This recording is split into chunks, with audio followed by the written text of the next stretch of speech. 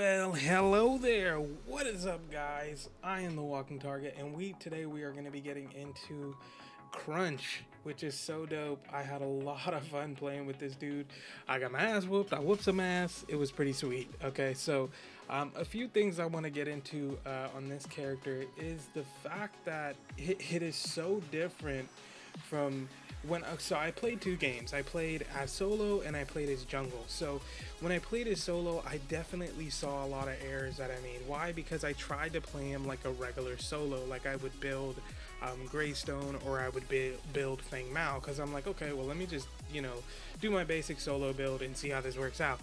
I had a lot of trouble trying to take out. Um, uh, Greystone. Greystone was like literally a monster by like I I think it was like level 10 and it was like it was just like a no contest. Like I couldn't I couldn't get in there. Like I was like you know I I throw the combinations and it was just it was Greystone was just massive at that point. So um so it, you know let me let me first go over solo. So in solo um, the way I kind of built it was, like I said, I, I kind of built it around the regular way I did it. Um, I built it, you know, I used uh, blighted chest plate. I used, um, uh, let me see, uh, the demon sword. I got, um, and for my for my shoes, I was thinking, okay, so these are PvP, uh, PVE. I'm sorry, PVE. I was going to say PvP versus AI, but that's correct. PVE. These were PVE matches, so I built it around basing like, okay, well, Murdock's gonna be doing physical damage. The only person that's really gonna be doing a lot of energy damage is gonna be Gideon. I did not know Muriel can get so beefy. like, Muriel was doing some heavy damage. I was like, holy shit. Okay, so Muriel got got tough. So in the first in the first game solo, like I like I said, I okay, so Demon Sword, and then I built it with the the boots were Stoic Greaves. Um, what else did I grab in here? Oh, and then I went for attack speed as well, because I mean he's a puncher, man. He went punch faster, you know. So I got adrenaline, uh, adrenaline shot, and uh, I got something else. Oh yeah, yeah, yeah. I didn't finish the build. I ended up trying to go for um, what was this? Fate's Gunblade. So I tried to go for that towards the end, but it had already ended, so it was like kind of like, eh, it's it's no biggie. So so solo was it was a good game don't get me wrong you know i was i was still in there but i definitely saw a lot of the errors that i i, I made when i was first building in solo. Um, so on the second game when i ended up going into jungle i was like okay so one thing that i noticed when i was playing in solo is that uh, is life steal with crunch with life steal is like wow like that is humongously amazing okay? Like it is it, it, just was a drastic difference. So of course the first thing i went for was uh, Reign of Fervor um, uh, as far as like you know getting his jungle thingy. Um, for the boots i went for boots of the hunt um, and i also had the potion for a little bit um, just to you know hang in there in the jungle but the crazy thing is is first off you know like uh, I thought, you know, I'd be, you know, just mostly jungling and not worrying about stuff. But I was, you know, early lane, early, uh, early lane, early games. I was just jumping in there. I was like, oh shit, okay, they're about to die. Oh no, okay, okay.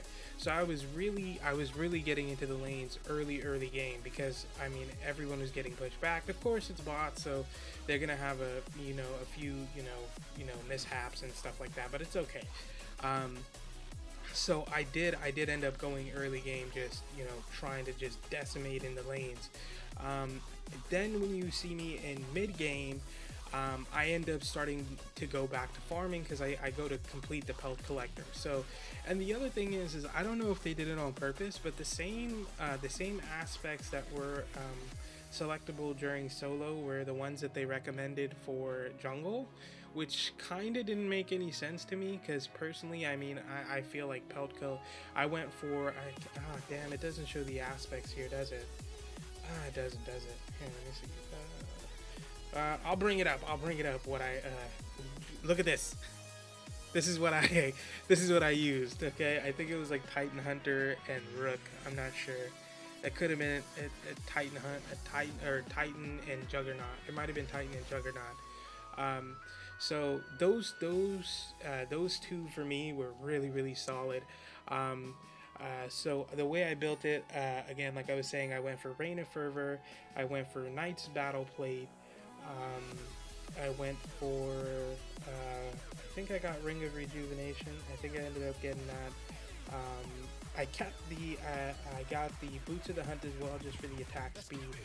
Um, and one thing that's crazy is, is I didn't notice it until end game, which is like such an overpowered item for Crunch, is the Stimulant Gauntlet. I did not read its thing fully. I just kind of glanced over it and I was like, nah, I don't want that.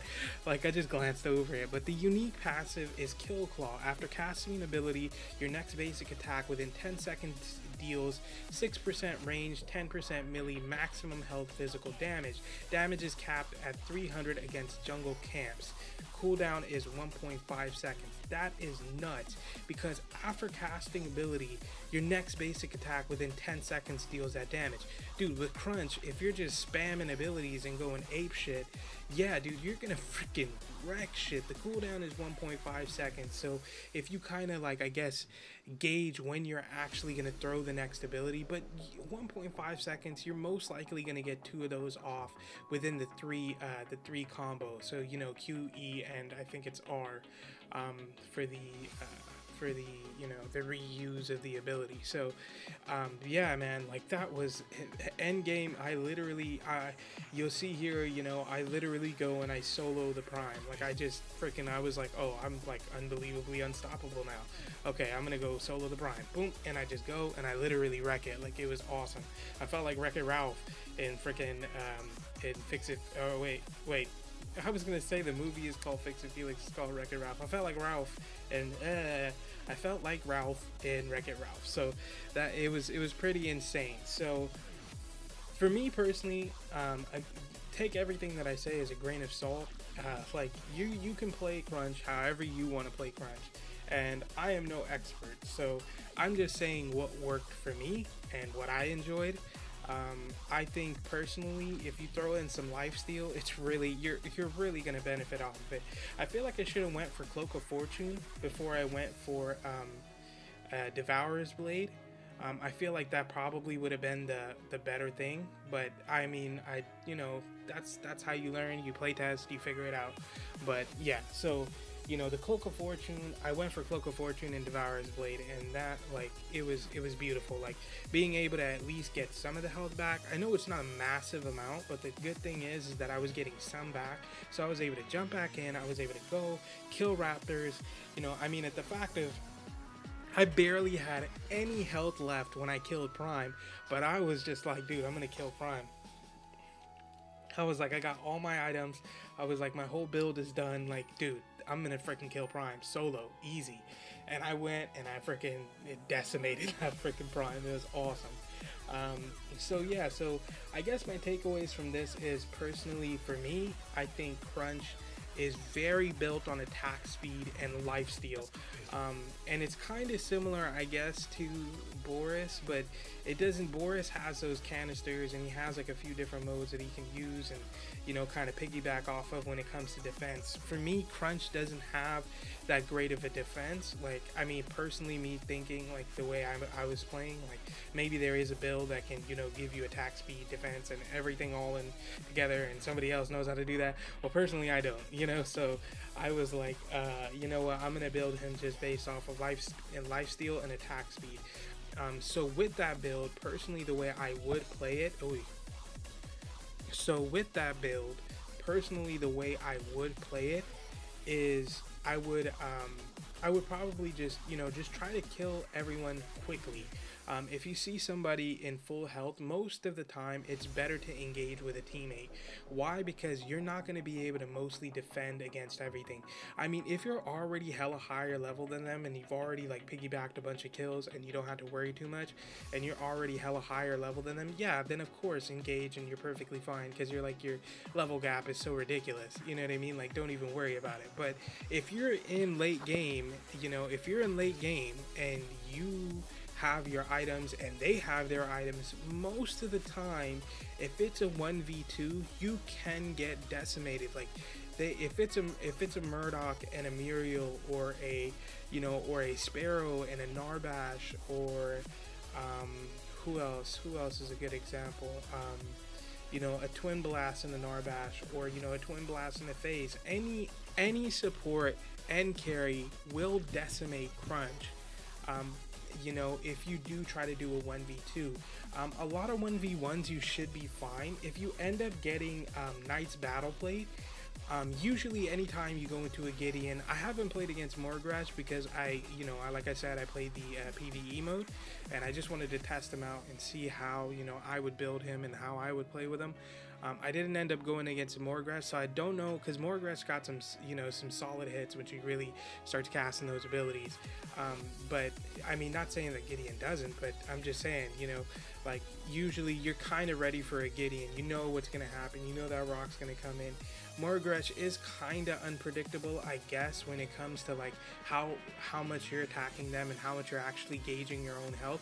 Because if you are pulling away, most likely Morigesh can just you know launch her ult, and if you don't have that much health after actually just trying to decimate Morigesh, she can just take the kill. So you have to be super super careful with Crunch. It's not that you have to you know, be so careful that you don't jump into fights. Just play cautious. I would just be super careful, um, especially determining on your build early game, mid game, and late game. You want to make sure that you're, you know, you're understanding what you're actually, you know, going for. Um, when it comes to picking your aspects, make sure you pick pick things that is actually going to benefit the way you play. Um, personally recommended is always good to go for new players. Always 100%. Always go recommended if you're a new player. But if you are a veteran, and veterans know this, I guess, like just don't be afraid to like change it up. And I wouldn't even say veterans. If you've been playing for a little bit and you got the hang of it, don't be afraid to test it out. Don't be afraid to test the different aspects because there are different builds out there.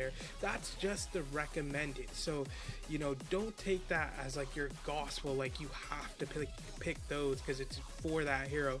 No, you can mix and match whatever you want to. And usually, in my personal opinion, I think going for the aspects that are in the same tree are more beneficial. Why? Because you're you don't have to split your aspects. So you don't have to put one in one and one in the other. You can literally level them up at the same time. Like it literally works out so well. So, I like I said, my takeaway from this is probably going to be the fact that I would build Crunch personally. Um, you know, I add a little bit of defense in there, but mostly I'm going for life steal and attack speed. So, and so gameplay overview, like, you know, that's just like a broad term I use. But, um, but what I, you know, what I really wanted to talk about is how much I enjoy playing the hero. And Crunch is super fun. Like, it, it they, it's just so much fun. I never played Crunch in the original Paragon. I am a Wukong main and that was my character. I would decimate people with Wukong, and people would talk shit all day like Wukong was overpowered at the time.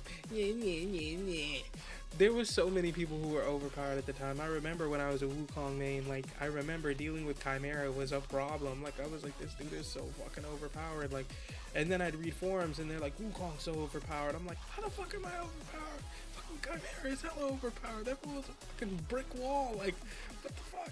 like so you know everyone everyone has their opinion on who is strongest in the game. And i think it really just depends on you as a player. Um, if you're dying a bunch of times and then you blame it on the other person being overpowered maybe you should kind of look at what you're doing. Like if you're giving them kills and completely feeding them of course they're to be overpowered by about early game. Like you have to play cautiously play safe play smart and you're gonna you're gonna probably be the most strongest on the team, if not, you know, somewhere in the middle. So, you know, and also again, guys, respect the carry. Respect the carry. Like, stop taking their freaking kills. Give them their kills. They are gonna win you the game. If you think you're gonna solo lane the whole game and you're gonna come and win everyone the game, you are fucking tripping give the kills to the carry. If you see the carry nearby and they have a chance to take the kill, let them take it. Dude, you lose nothing from letting the carry get the kill. What? You just want to post like, I got this many kills in the game. It's fine, okay? It's fine. Just let them get the kill. It's better than posting that you lost, okay? So let them get the kill. Let them lead the rest of the team. And also, if they're a new carry, give them a great experience, you know? So, um, that's just something I just wanted to say on the side. It's like a side note, okay? So, anyways, when it coming back to Crunch, um, yeah, dude, tons of fun. Um, I got one of the skins already. You know, I got golden gloves because it was just so sick. I was like, oh my god, this is so gorgeous. I really love these other ones. I did not know he had these in the original Paragon. I think these are the original Paragon. I could be mistaken. But these look sick, dude. Like, oh my god, Fault. You guys did a great job. You know, like this, it just looks great. I love Titanium. Titanium looks so sick. But I mean, personally, you know me, you know, just look at my Feng Mao favorite skin, you know. That tells you right there which one I like the most you know so i had to get the golden gloves. Um, and then you know i will work on his mastery in time. Like i said i pick this game up and i play it you know when i'm really feeling like i want to play fault. I, you know i steer away sometimes from the community because it is kind of toxic so um, but personally like i was saying um, yes you fault you guys strange matter you guys did such a fantastic job. This is a beautiful hero like it is so much fun to play and um, uh, like I was saying, I don't know if that's a thing. Like the only thing I would say is the whole like uh, when you go to choose your aspects. I don't know if that's something that's like you know that's just you're gonna keep that as recommended even for whatever role they play. But when I did pick jungle, um, it was saying the same thing as when I picked solo, which might be a little bit confusing for somebody who's using trying to use crunch in the jungle because I mean you're gonna want them to have that extra bit of push uh, for the minions. So I don't know. That's just my personal opinion. I'm sorry if I'm wrong. I don't know. Okay. I don't know. Um, so yeah guys that's gonna be my overview of crunch. Um, like I said attack speed uh, life steal a little bit of defense goes a long way. And uh, of course as always, be friendly to your uh, your you know your teammates in game. You know PvP. You guys can be toxic as fuck, so don't do that. You know, be very very kind to new people joining into the game because we want to get a lot of people into this game. Um, you know, there are other games coming out. There's Overprime, there's Predecessor. Apparently, there's something called Finite now or Infinite or something. I don't know there's so many people trying to make the game so it's you know it is nice to see that you know strange matter is still really pushing this game they're continuously pushing um, like new you know new things they're adding the you know of course people are going to be like well it's just the old heroes but it, no dude like they're they're giving us something new. They're adding their little bit of flavor on it. And i'm not gonna lie you know i'm looking forward to seeing what other people do with it as well. But since fault is the first people who let us get a like anybody who is missing paragon so much they were the first people to let us get our hands on it again. And i'm super appreciative uh, appreciative of that you know? So thank you so much strange matter studios also the race uh, there's an event going on right now um, the race uh, if you guys start playing with crunch right now you can end up getting a really cool gold skin um, for the uh, for crunch itself and I think it's like signed by the designer or something. It's something really really cool. I saw like a little picture of it. Oh no, I don't know if it's the skin. I think it's an icon. Ugh. Yikes, it's an icon. I think it's an icon. I don't know. I don't know what it is. I have to read the post again. I'm sorry. It's one of the two. It might be both. I don't know. But it's still really cool. So make sure you go grab that. Um, but it, it like it, it, it, it is a cool event. You know, I mean, personally, me, I don't think I would, you know, try to go for the event because there are a lot of other people who play it and mostly play with like teams and stuff like that. I'm a solo player, I'm a loner. So, you know, when I jump into games, you know, it's going to take me a while to uh, rank up that EXP and try to go beyond. And plus, a lot of people do dodge games, especially when I jump in them. So, something else I want to tell the uh, Strange Matter Studios team, um, dude you guys must have made the AI mode so much better. I don't know what you guys did to them, but they are freaking insane. Like the game was like 50 kills, 60 kills on each team. Like it was it was insane. Like and these dudes are being more innovative. I was so shocked to see Greystone go and grab the freaking green river buff. I was like, what the fuck? Did he just go for buff? I was like, that son of a bitch. I was like, he fucking took the buff. I was like, oh fuck. Like, I was shocked because whenever I usually play PvP versus, yeah, I mean PvP, PvE, whenever I play PvE, I don't really worry about that. I'm like, I'll just grab the buff when I grab it. You know, like I didn't think he was gonna take the buff. He fucking took the buff. I was like, oh shit, you know. And then on top of that, like the fact that I one thing I really noticed, and I'm so appreciative of you guys, you know, fixing in PVE, is the fact that I didn't see one in both bot matches I played. The entire match, I did not see an AI stuck anywhere. Like nobody was just randomly stuck in a corner not doing anything. Everyone was continuously doing something. Even if Khaimera wasn't jumping into fights most of the time, he was still farming minions. So the fact that you guys have kind of taken out that glitch of how they kind of just sit there and they get stuck, I think that is so dope. And I like I said, I'm super appreciative of what you guys are doing. Thank you so much. It makes it 10 times more fun, especially for somebody who plays solo like I do. Again, this has been my gameplay overview. Um, I appreciate you guys for, you know, watching the video, you know, watching my videos, you know, the little bit of views I get does make me very happy. It's very cool, you know, but I mostly do this for myself because I enjoy doing it. So, thank you so much for watching. I am the walking target, uh, and if you guys like the video, hit a like, if you like my content, hit a subscribe. Don't leave a comment because I fucking disable them. Fuck comments. Um, but other than that, dudes, it has been so much fun playing with Crunch, and I hope you guys enjoyed as much as I do. And again, this is the Walking Target, and I will see you in the next one.